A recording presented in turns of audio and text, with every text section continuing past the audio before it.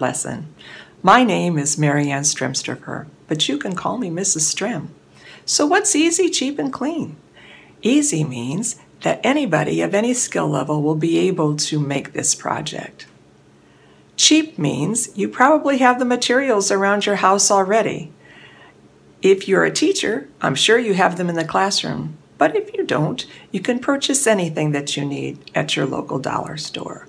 Clean means we're not going to make any mess. Well, just maybe a little, but not very much. So let's get started.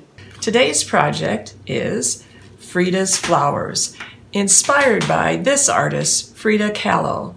Frida Kahlo was a Mexican artist, and she loved to wear flowers in her hair, kind of like in this picture of her. And also in this book, we can see that she loves to decorate with flowers and other objects, but we're going to look at flowers today. And the kind of flowers we're going to be making are tissue paper flowers of different kinds, you can see here, and of different colors. So let's get started. We're going to first take, um, find out what kind of materials that we're going to need. And in this project, you will need the following. You will need some tissue paper. The tissue paper can be different colors or it can all be the same color. The tissue paper can be brand new tissue paper. This came out of a packet uh, that I got at the dollar store. Or you can use used tissue paper. Maybe you've put some in somebody's uh, birthday present or something like that, but you're going to need three pieces of tissue, full pieces. These are small, but if you have smaller ones, we can figure out how to make that work because this tissue paper is going to make three flowers. In addition to tissue paper, you will need to have another piece of paper, and that piece of paper is a piece of computer paper. You need about one of those or maybe more depending on how many flowers you want to make. You're also going to have to have a pair of scissors, some kind of glue. It can be liquid glue or it can be stick glue, either one. You're going to have to have something that is going to uh, tie these all together. So one of the easiest things is a stapler. But if you don't have a stapler, you can use a piece of string, or in my case, I've got a piece of ribbon, or you can even use a twist tie that you get from your bread uh, or something else that uses twist ties. You're also going to have to have a pencil. I'm hoping you can find all of these things around your house because that's the whole idea between about easy, cheap, and clean. So we're going to not make any mess at all with this project. We are going to be making some tissue flowers. So first, we're going to make sure that we have our tissue paper aligned.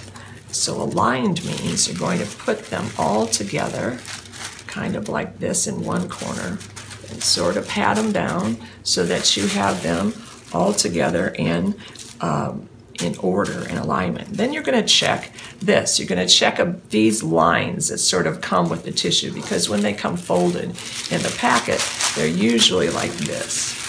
Not always, so if you don't have the lines, we're not going to worry about it. But we're going to start by folding this big piece of tissue paper, these three big pieces, like so. Now when we fold them, these lines are going away from us. So here we go, first fold. Now that fold is not a very thick, uh, hard fold, so we're not going to press down.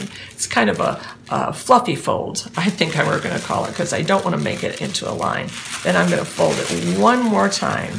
And why I'm doing that is I can get it into a compressed packet so that I can come with my scissors and cut on my three lines. So I can cut here, one, and cut here, two. So only two cuts is all you have to make with these scissors.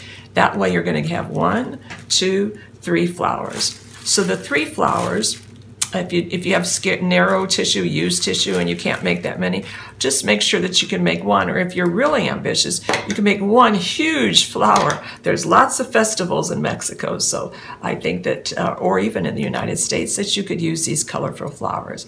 We'll talk about what you can use them with later on. Anyway, what we're going to do is we're going to cut here and cut here. But since I keep doing this and running out of tissue paper, I have one all ready to go over here so that we can put this aside. Uh, And then I'm going to put my packet together that I have already of tissue paper. So this is one third of what we just looked at. If you need to use a ruler or a yardstick to measure, that would be fine to cut them, but it's not necessary. It doesn't have to be perfect. In art, we're never perfect. So what we're going to start to do now is we're going to start to do what's called an accordion fold. An accordion fold is very simple. We start out by folding a little bit of it backwards. So in this case, I am going to make a good fold and not a fluffy fold, and just try and keep it aligned as I go down. Now, you might want to measure this with a ruler, which is about a half an inch or so, but I like to measure with my finger or my thumb and figure out how big, and mine are, fingers are kind of fat. Yours might be skinnier, and you can use two fingers. So I'm going to make that first fold. Once I have the first fold done, I take the whole packet and I reverse it or turn it upside down, and then I'm going to make another fold. Now accordions are musical instruments, and they are um, they have also they're also called a squeeze box. So what we have to do is we have to be sure that we're going back and forth and turning it over. Make a fold, turn it over. Each fold should be approximately the same size as the one before it.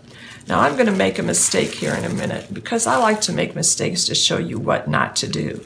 So this is a fold and I, whoops, I forgot to turn it over. So I make another fold. Well, it's yellowed. Isn't that what it's supposed to look like? No, because when I look here, I can see I'm going to be in big trouble. So what I do is I unfold it. And what should I have done? Turned it over. So I'm going to turn it over and continue on all the way to the end. And as I go, I want to be really careful to not let these folds get a lot bigger. I want to try and keep them so that they're even.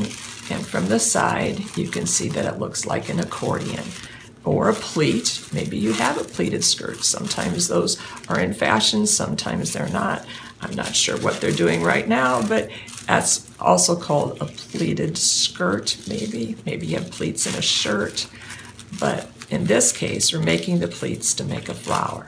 So we continue on till we get to the end. And when we get to the end, what we have to do is we have to be careful that our last one, I'm going to switch out because I have this one folded already.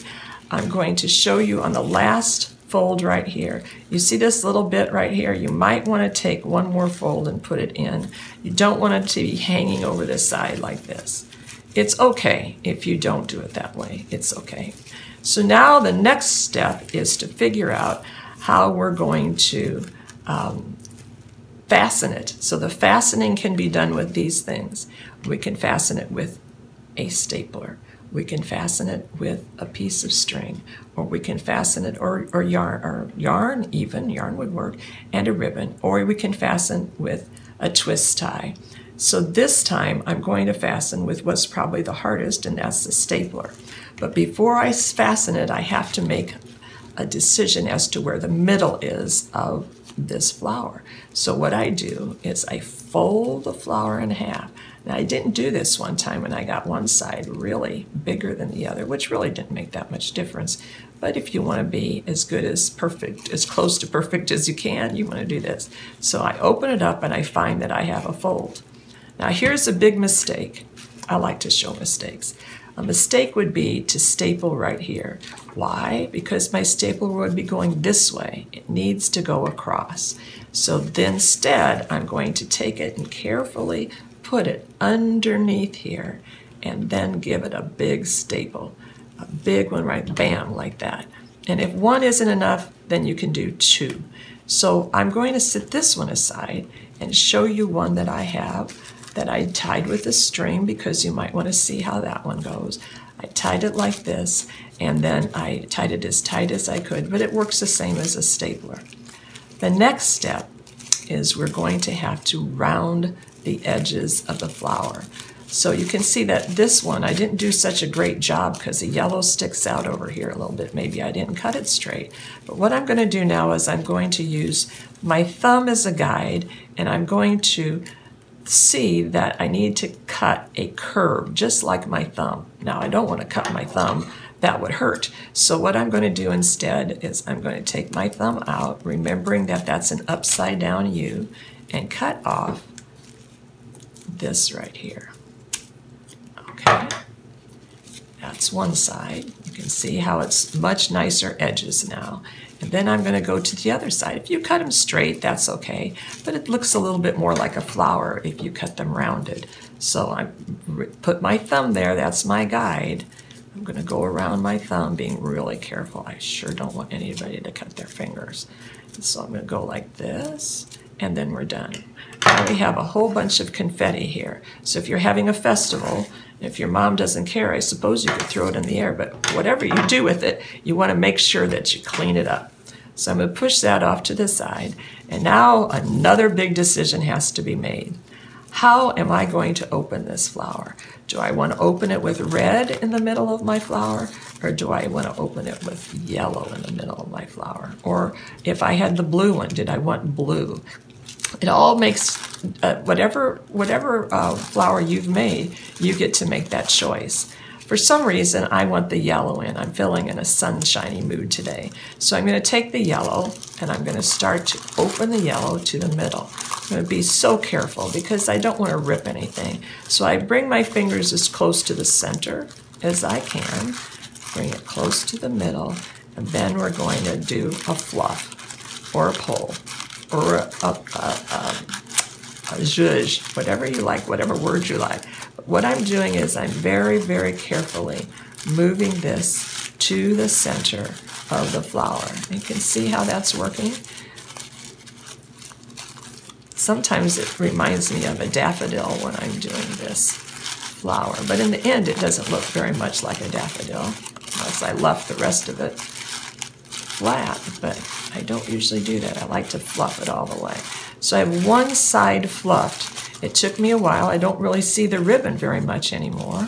So I'm going to turn it around and I'm going to start on the other side.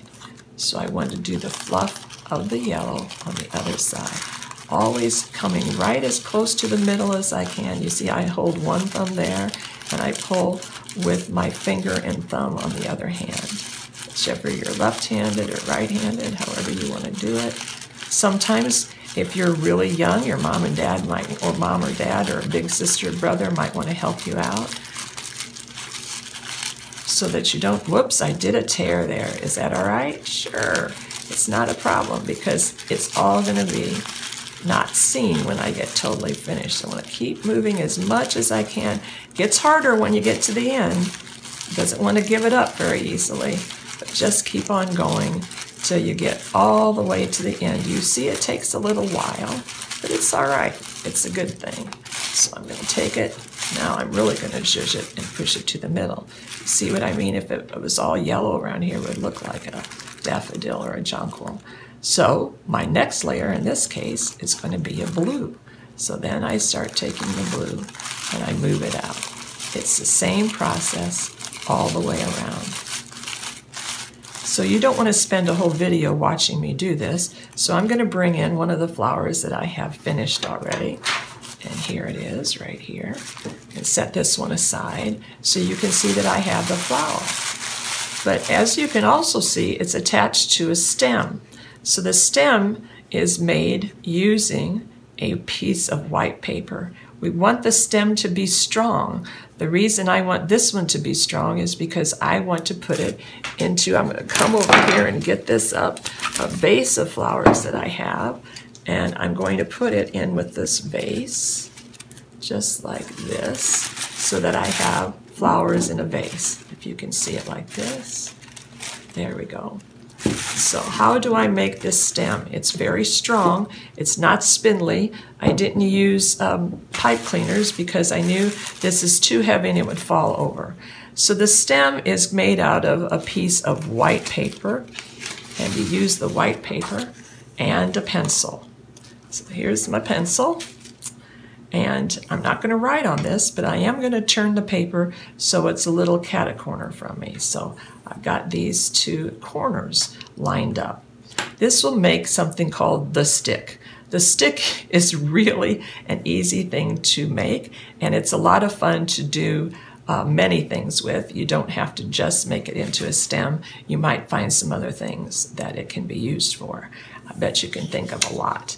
Um, anyway, the stick is very strong, and the way to make it strong is like this. So I'm going to take my piece of paper, roll it over the pencil, like so, and then start rolling the stick over the pencil. The problem is my pencil, as you can see, is going to get caught up in the stick. So every once in a while, I pull that pencil out a little bit.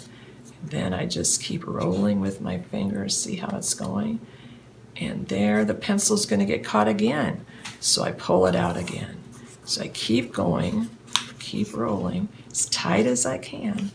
You're going to get to a point about here where you can take the pencil all the way out. Keep it tight though, don't let it unroll. If you let it unroll, you'll have a big fat stick and you don't want that. So I'm getting close to the end. And as I get close to the end, I'm going to get my glue out because I'm going to need the glue and I open it up. Either glue works. This glue glues faster. The Elmer's glue might glue a little harder. So however you do it, your, your triangle at the end might be different shape than mine, but it doesn't make any difference. I'm going to put glue here and glue along here and a little bit of glue there, a little extra. So I have put glue all around this. And then I'm going to go real slow and roll it into the glue. And when I roll it into the glue, I now have my stick. So the good news about this stick is it's made out of paper. So on paper you can color, you can draw, you can cut, and you can fold. So this is what we're going to do. First step is to cut it right here. So I cut that end off, turn it around. I'm holding on to this because I want it to stay where it needs to be and cut it here. Now maybe you've seen your mom put flowers into a vase before and she wants the stem to be the right size or dad put them in or somebody put them in and you can cut this any size you want. You could even make two out of this. I like to keep it a long one because I had a long vase so that's what I did. So I've cut the ends and you can cut them to whatever size you need and then what you're going to do is you are going to bend one end. Because it's paper, I can bend it. So I'm going to bend it and flatten this out. When I flatten it out, what could have been used for straw, I guess. So I flattened it out, and now I'm going to take my flower, and you can see that I've done it with this one, and I'm going to turn it over, and I'm going to put glue on the end, like so. Oops, that got a lot of stuff on it, didn't it? And then I'm going to put this right here onto the flower, just like this one is. This one's been done already, so you can see that it moves back and forth, and it would move the way I wanted to. The other thing I did is I thought, well, maybe I want a green one. So I started to color it with a green marker, which would work if you wanted a green stem, if you didn't want that. And then if you really had some construction paper or some other colored paper or just plain white paper, you can color the paper and make some leaves if you really wanted leaves. But I didn't care to do that, but you can if you want. It's up to you. So that's a little leaf I just cut out of construction paper. So at this point, our flower is finished. We have other flowers that have a different treatment. Instead of a rounded um, edge, I, you can see I cut a, fr a, fringe edge. You might want to do a fringe. This one is a fringe as well. Uh, and you have to decide what you want to do with the flowers. Now in Mexico, they have fiestas. They have a fiesta every chance they get to have a fiesta. And at the fiestas, they have a lot of these kinds of flowers. That's why Frida must have liked them in her hair. She put real ones in, but I think she put paper ones in as too. So what can you do with this? You can take one. I took this one right here and I put this uh, uh, pin on it so I could put it into my hair. And so I had a flower in my hair just like Frida. I kind of like that. Or you can take and put them, again, like flowers in a vase. You can line them up, put some string through them with a uh, uh, special kind of a needle onto, uh, you can put on fishing line, and you can have a whole row of them hanging in your house. Or if you have some kind of tape that your mom is okay or dad is okay with, you can glue them on the wall. Or you can make them into I was thinking it would be kind of a pretty door decoration. So it's up to you what you want to do with these flowers, but I celebrate today with you Frida Kahlo and her inspiration. So these are Frida's flowers, and thank you so much for coming to an easy, cheap, and clean art project. And remember to keep your heart in art. Thank you very much.